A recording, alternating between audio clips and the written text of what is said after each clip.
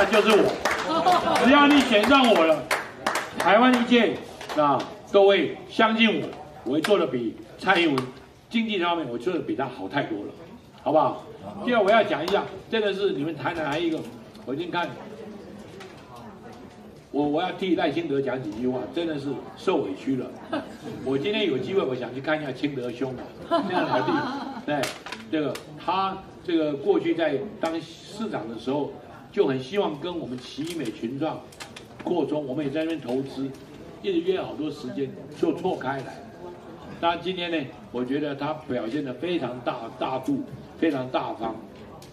但我讲多多少少受一些委屈，希望你们带一句话。